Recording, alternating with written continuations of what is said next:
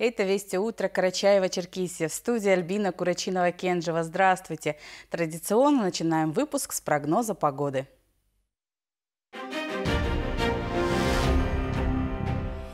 В Карачаево-Черкесии в горах местами кратковременный дождь-гроза. Ветер восточный 5-10 метров в секунду. Порывы до 14 метров.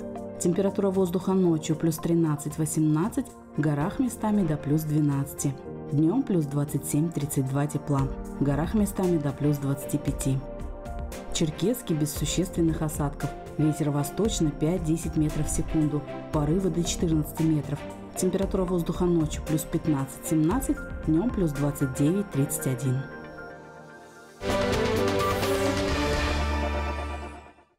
23 года в эфире. 1 августа 2000 года телезрители увидели информационную программу с новым названием «Вести Карачаева-Черкесия».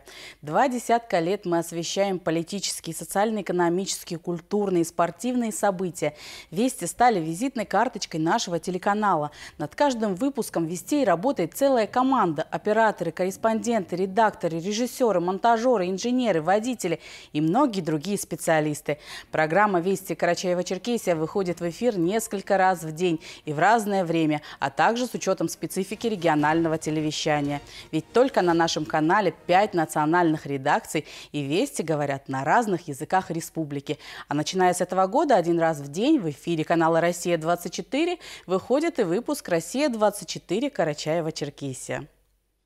Сегодня день рождения отмечают сотрудники Службы специальной связи России. Как осуществляет свою деятельность одна из системообразующих организаций российской экономики на территории Карачаева-Черкесии, выяснял Али Баташев.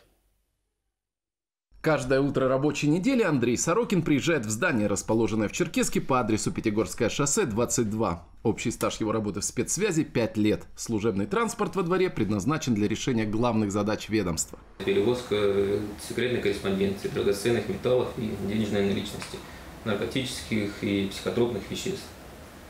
Ну, для доставки корреспонденции грузов э, спецсвязь использует собственный автотранспорт, в том числе и бронированные автомобили а также транспортные средства, в которых э, поддерживается определенный температурный режим на протяжении всего маршрута.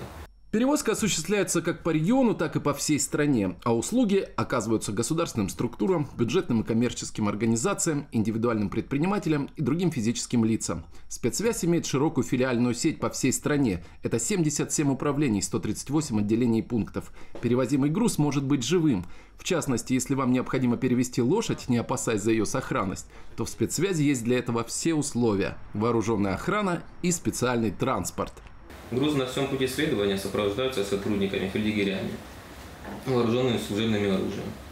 Государственный статус компании – это высококвалифицированный персонал, современная материально-техническая база, инновационные цифровые решения и высокие стандарты безопасности. Пользуясь случаем, хотел бы поздравить сотрудников, всех работающих, пожелать им здоровья, счастья, благополучия и успехов в работе.